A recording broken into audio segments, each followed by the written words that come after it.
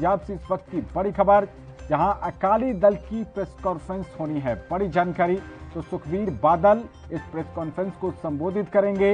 अकाली दल के सुप्रीमो सुखबीर बादल की ये प्रेस कॉन्फ्रेंस और इसमें पंजाब की राजनीतिक स्थिति को लेकर ये प्रेस कॉन्फ्रेंस की जा रही है। बड़ी जानकारी आपको दे रहे हैं। किसान आंदोलन पर भी कुछ बातें वो रखेंगे।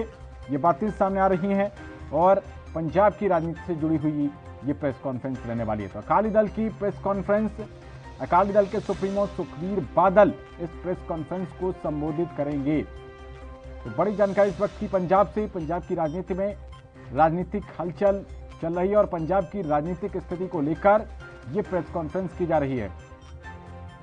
तो इसी खबर पर ज़्यादा जानकारी के साथ संवाददाता अमित कुमार हमारे साथ फ़ोन लाइन पर जुड़ गए हैं। अमित जी, प्रेस कॉन्फ्रेंस की जानी है अकाली दल की तरफ़ से। और इसमें क्या कुछ बातें कही जा सकती हैं क्या कुछ तमाम जानकारी? प्रेस कॉन्फ्रेंस नहीं कहेंगे हम सीधे तौर पे कहेंगे पंजाब के गवर्नर को मेमोरेंडम देने जा रही है श्रोमणी अकाली दल। कल प्रेस कॉन्फ्रेंस की गई थी उसमें दो बातें क्लियर कर दी गई थी कि आज 11 बजे पंजाब के गवर्नर से मुलाकात की जाएगी तो वहीं उनतीस तारीख को पंजाब के नए बने सीएम चिरंजीत चन्नी के घर का घेराव किया जाएगा।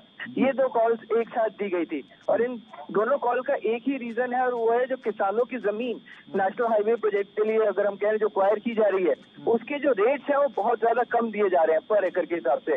जो अगर हम कहें कि गाँव की ज़मीन है, वो करीब तीस लाख रुपए और जो अगर हम कहें कि शहरों की ज़मीन है, वो पचास लाख रुपए पर एकड़ के हिसाब से एक्वायर की जा रही है। जबकि किसानों की डिमांड ये है कि जो गाँव की ज़मीन है, वो एक करोड़ रुपए पर एकड़ के हिसाब से मुआवजा मिले तो वहीं जो शहरों की ज़मीन है, उसमें तीन से पाँच करोड़ के बीच में एरिया टू एरिया डिपेंड पर एकड़ के हिसाब से वो दिया जाए। इस चीज़ को लेकर मुलाकात की जा रही है। इसी तौर पर कहा जा रहा है कि बहुत ज़्यादा रेट को अंडर वैल्यू किया जा रहा है कि जो बनता हक है, वो नहीं दिया जा रहा है, जबकि उल्टा कंपनसेशन देने की ज़रूरत है। पर कहीं ना कहीं जो रेट किसानों को दिए जा रहे हैं, वो अंडर वैल्यू और कहीं ना कहीं उनके साथ जाती की जा रही है। जी।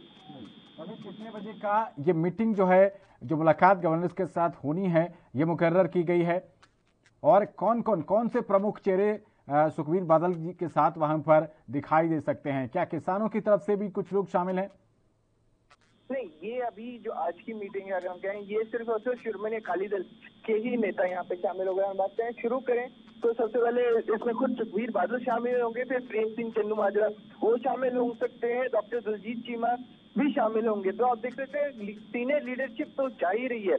वही विक्रम सिंह मजीठिया अगर हम कहें वो भी शामिल होने की बात की जा रही है। तो आप देखें ऑल ओवर सभी सीनियर अकाली दल के सभी सीनियर नेता इस मौके पहुँच रहे हैं। क्योंकि ये बहुत ज़्यादा अहम मुद्दा कंसिडर किया जा सकता है। ये ज़मीन अगर हम कहें कि ज़मीन से रिलेटेड मुद्दा है किसानों से रिलेटेड मुद्दा है और इसमें बहुत ज़्यादा ज़रूरी हो जाता है कि कहीं ना कहीं शिरोमणि अकाली दल अपना पूरा प्रेजेंस दिखाए। क्योंकि इससे पहले भी जब ज़मीन के रेट देने की बात आई थी जब नेशनल हाईवे के लिए ज़मीन एक्वायर की गई थी तब भी शिरोमणि अकाली दल ने ही एक बहुत अच्छा मुआवजा किसानों को दिलवाया था। तो सवाल यही उठता है कि क्या इस बार भी शिरोमणि अकाली दल कामयाबी मिलती है? क्योंकि अगर मिलती है तो 2022 के चुनावों के लिहाज से हम देखें तो उनको बहुत ज़्यादा अच्छा फ़ायदा मिल सकता है। जी।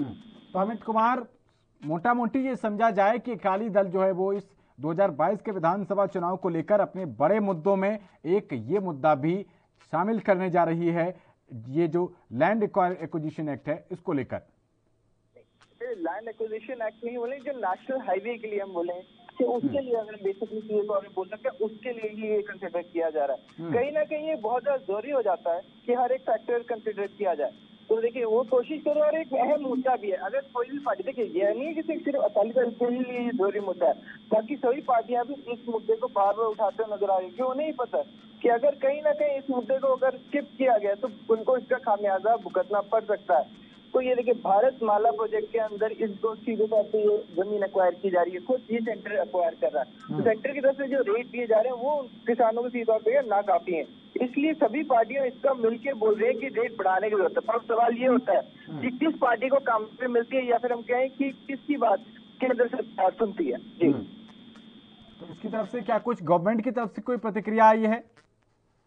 सरकार ऑलरेडी अगर हम कहेंगे कांग्रेस सरकार लगातार कहती है कि जो रेट दिए जा रहे हैं वो लगातार कम है। खुद हम कहेंगे कैप्टन सिंह कई बार बोल चुके हैं कि रेट जो दिए जा रहे हैं वो कम है। उसको हम बढ़ाने के लिए लगातार बात कर रहे हैं। मीटिंग की जा रही है, अगर हम कहें मेमोज भेजे जा रहे हैं, पर अभी तक कोई हमें जस्टिफिकेशन नहीं मिल पाया या कि कोई रीजन क्लियर नहीं हो पाया कि रेट क्यों इतने कम आगे गए जो सीधे तौर पे कहा गया है कि डीसी रेट या फिर हम कहें कलेक्टर रेट इसके ऊपर ज़मीन एक्वायर की जा रही है। तो इस पर पंजाब सरकार ने भी जवाब भेजा था कि आमतौर ज़्यादातर यही होता है कि जो डीसी या कलेक्टर रेट होता है बहुत ज़्यादा कम होते हैं और वो फीजिबल नहीं होते हैं। तो कई काफ़ी लंबे समय से प्रॉपर्टी फैमिली टू फैमिली आगे बढ़ती जा रही है। तो ऐसे में कोई वैल्यू प्रॉपर्टी की वैल्यू को रिवैल्यूएट नहीं कराता। ऐसे में जो प्रॉपर्टी की एक्चुअल वैल्यू होती है बहुत ज़्यादा होती है।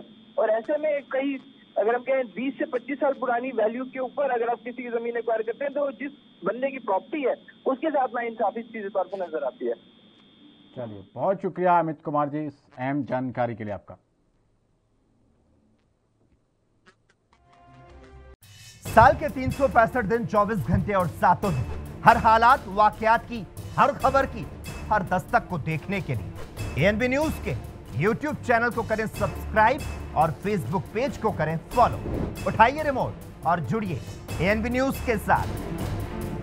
टाटा स्काई चैनल नंबर 1927 और एयरटेल चैनल नंबर 356 पर अब ANB news Jio TV Mobi app Airtel Xtreme OTT Instagram Twitter Google Play और ऐप स्टोर पर भी अवेलेबल है। एएनबी न्यूज़ आपकी बुलंद आवाज़ आपकी बात।